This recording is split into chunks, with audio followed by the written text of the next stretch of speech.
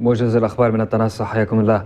قال مسؤول مكتب الإعلام بميليشيات السائقة رياض الشيبي إن العمليات العسكرية بمدينة بنغازي أوشكت على الانتهاء.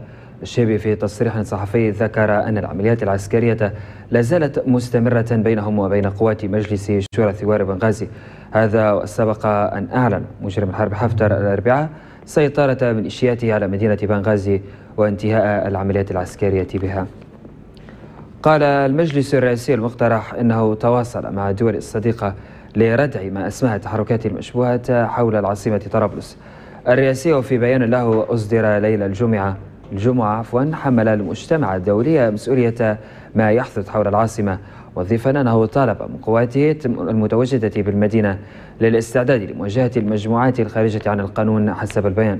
هذا وشهدت العاصمة طرابلس اليومين الماضيين اشتباكات بين مجموعات تابعة للمجلس الرئاسي المقترح سقط على أثرها عدد من القتلى والجرحى قال النائب الأول لرئيس مجلس النواب المحل محمد شعيب إن ما يحدث في لاهاي من تعديل لاتفاق صخيرات يعتبر خرقا للقرارات الدولية حسب ما ذكر شعيب وفي تصريح صحفي استغرب موافقة أعضاء مجلسه على المشاركة في هذا اللقاء مضيفا أن هذا يزيد من تعقيد الأزمة في ليبيا على حد وصفه.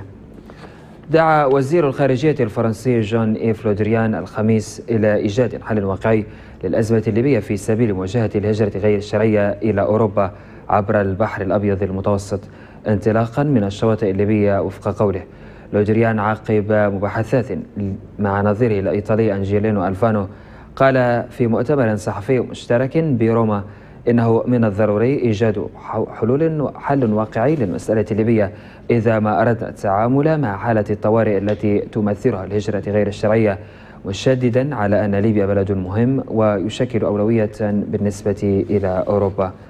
وفي الخبر الأخير لهذا الموجز حيث أبدى وزراء داخلية دول الاتحاد الأوروبي في إعلان صدر الخميس موافقتهم بالإجماع على تقديم الدعم المالي المادي اللازم لليبيا لمساعدتها في ضبط حدودها.